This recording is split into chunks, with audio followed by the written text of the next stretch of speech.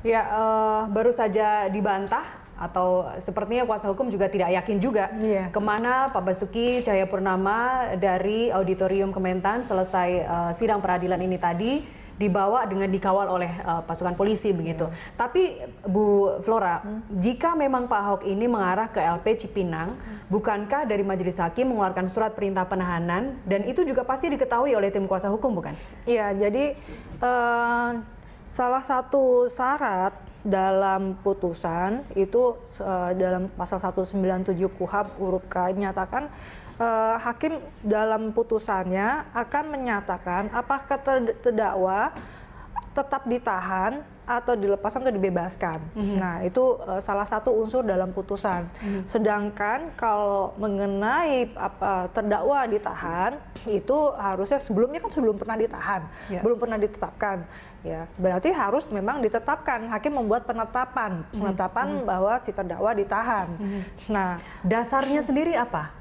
dasarnya untuk menahan kalau yang saya tadi dengar hakim menyatakan bahwa karena yang dikenakan ini adalah pasal 156A 156A itu di, uh, diancam dengan pidana maksimal 5 tahun sehingga memenuhi pasal 21 ayat 4 KUHAP. 21 ayat 4 KUHAP itu adalah salah satu syarat objektif untuk melakukan penahanan yaitu apabila seseorang diancam dengan pidana lima tahun atau lebih. Sehingga hmm. di sini hakim memasukkan unsur objektif ini. Unsur objektif sudah terpenuhi dan memang untuk unsur lain hakim tidak mempertimbangkan cuma menyatakan bahwa menghilangkan uh, barang bukti atau melakukan kembali atau uh, melarikan diri, melarikan diri ya. itu tidak pertimbangkan hakim disebutkan oleh hakim, tetapi kemudian disebutkan kembali karena syarat objektif sudah terpenuhi mm -hmm. sehingga hakim memutuskan untuk um, menyatakan bahwa terdakwa untuk ditahan. Hmm. Tapi sekali lagi jika memang uh, terdakwa ini ditahan saat ini juga, artinya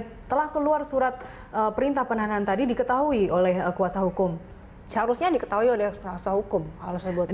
Dalam kasus ini uh, tadi baru saja kita sama-sama dengar dari tim kuasa hukum sendiri juga tidak tahu Pak Basuki ini ada, ada di mana gitu. Ini ya. apa semacam teka-teki lagi atau drama atau apa yang ingin dibangun di sini? Jadi uh, surat perintah penahanan untuk melakukan penahanan itu memang uh, harus ada surat tugas lalu kemudian um, penetapan dari hakim mengenai penahanan itu sendiri, lalu kemudian uh, salinan itu harus diberikan kepada si terdakwa atau kuasa hukumnya atau keluarganya segera saat hmm, itu. Hmm. Jadi seharusnya kalau tidak diberikan kepada kuasa hukumnya sudah diberikan kepada Pak Basuki. Hmm, kalau kita melihat sistem administratif yang uh, terjadi atau tadi seperti uh, tim kuasa hukum meminta uh, salinan uh, putusan yeah. begitu ya uh, dijawab bahwa salinan putusan ada satu kali 24 jam artinya tidak serta merta saat itu juga tim kuasa hukum bisa mendapatkan uh, salinan uh, putusan tadi.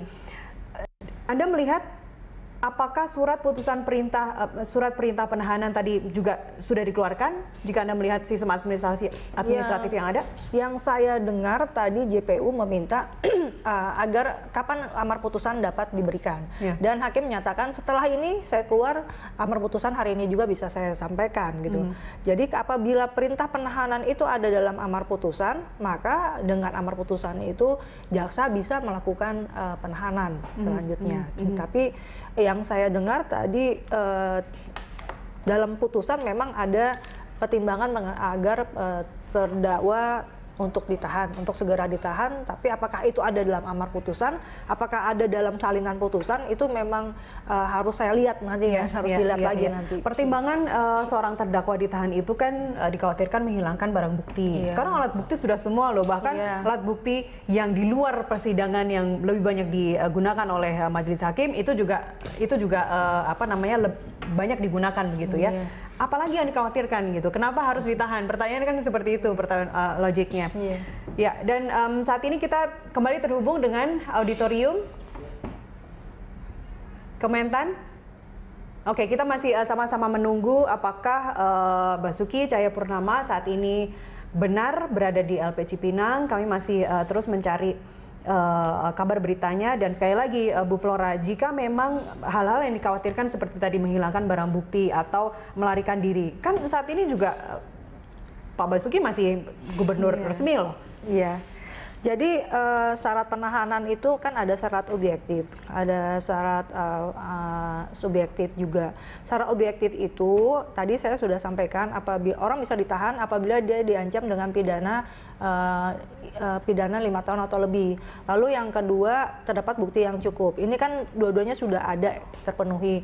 Lalu kemudian syarat subjektif itu memang yang tadi Mbak Titi bilang uh, bilang yaitu ketakutan akan melarikan diri, menghilangkan barang bukti, atau kemudian melakukan kembali tindak pidana. Nah, hal ini sifatnya subjektif. Jadi hmm. memang kembali lagi, apakah hakim menganggap uh, akan terjadi hal-hal seperti ini nantinya atau melarikan diri atau apa. Uh, lalu kemudian hakim yang saya lihat di sini, hakim hanya mempertimbangkan sepanjang syarat objektif sudah terpenuhi, maka penahanan itu bisa dilakukan. Atau bisa jadi ini adalah uh, salah satu upaya untuk meredam tekanan tadi. Ya, supaya dimungkinkan tidak terjadi hal-hal yang um, tidak diinginkan di sini. Ya um, yang tidak diinginkan dalam arti mungkin uh, melarikan tekanan diri, masa. Oh, oh tekanan masa. Dalam hal ini um, saya melihat bahwa hakim tetap mendasarkan uh, penahanan itu berdasarkan kuhap yaitu syarat objektif. Walaupun sebenarnya idealnya bukan hanya mempertimbangkan syarat objektif untuk melakukan penahanan, tapi juga syarat subjektif. Dalam syarat subjektif itu kan tadi yang saya bilang bukti yang cukup dan yeah. ancaman lima tahun, tapi juga harus mempertimbangkan syarat subjektif. Dalam arti apakah memang e, melarikan diri, menghilangkan barang bukti atau melakukan kembali tindak pidana. Tapi dalam hal ini hakim mempertimbangkan bahwa dan hakim melihat bahwa syarat-syarat ini sudah terpenuhi sehingga hmm. perlu dilakukan penahanan. Hmm. Sedangkan X ini baru sifatnya masih penahanan karena belum berkekuatan hukum tetap. Uh, sedangkan pemidanaan itu sendiri belum dijalankan. Pemidanaan yeah. itu kan dijalankan pada saat putusan sudah berkekuatan hukum tetap. Jadi mm. karena ada banding, jadi belum tetap. Ini belum yeah. eksekusi pemidanaan, mm. baru penahanan. Mm. Gitu. Baik, kita lanjutkan uh, dialog kita di segmen berikutnya, Bu Flora. Kami kembali sesaat lagi.